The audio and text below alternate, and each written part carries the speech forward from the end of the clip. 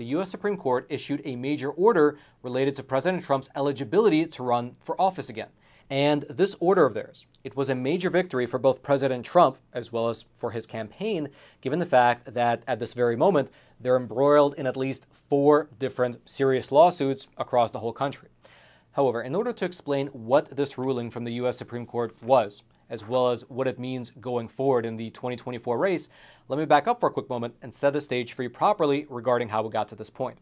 Now, to start with, as I'm sure you're very well aware, the Republican primary is quite full, with all the different candidates jockeying for some airtime in order to hopefully supplant President Trump as the Republican nominee. And some of these candidates have gotten, you can say, creative with how they're trying to win the primary.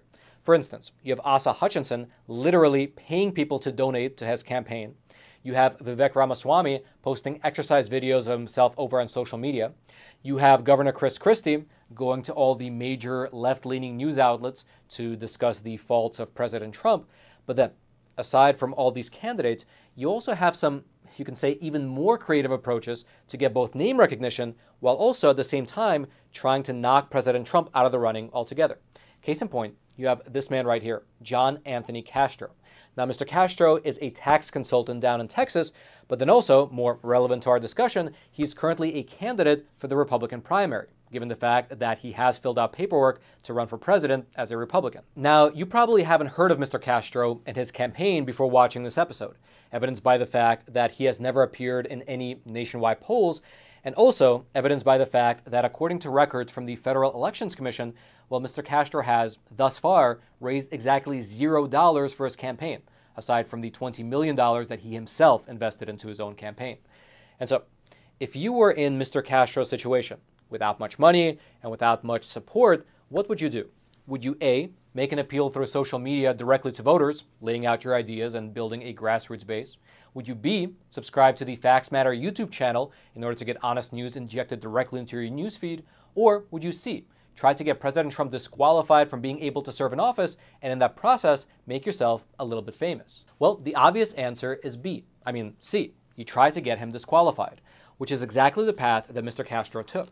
Mr. Castro filed a lawsuit in federal court down in Florida seeking to have President Trump disqualified from having his name appear on any ballots. His legal argument is that according to his reading of the 14th Amendment to the U.S. Constitution, President Trump should be disqualified from running for office because he engaged in insurrection.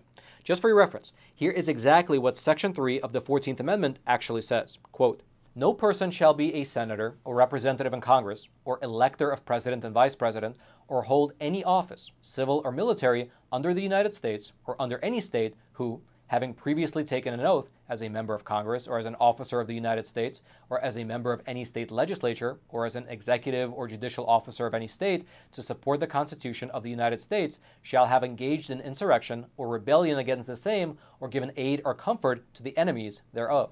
Now, as you likely guessed just by listening to it, this amendment was enacted shortly after the U.S. Civil War in order to keep former members of the Confederacy out of the American Congress. And when you scan the language of this section in the law, you'll notice how particular it is regarding the crimes which can get a person banned from serving in office. There are, in fact, two very specific crimes that are mentioned by name in Section 3 of the 14th Amendment. You have insurrection and or rebellion. And those aren't just words insurrection, and rebellion are actual legal crimes which are laid out in Section 18 of the U.S. Criminal Code, subsection 2383.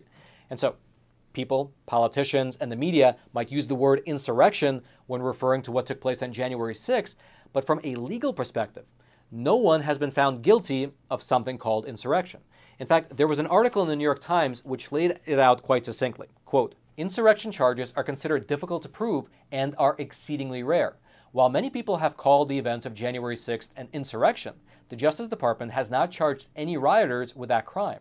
In addition to the handful of seditious conspiracy charges against members of two militias, the Oath Keepers and the Proud Boys, prosecutors have charged various rioters with such crimes as assaulting police officers, obstructing an official congressional proceeding, and trespassing. And so, to use the 14th Amendment to try and disqualify President Trump from running for office because he engaged in insurrection is a little bit difficult to prove given the fact that neither him nor anyone else on that day has been charged with the actual crime of insurrection.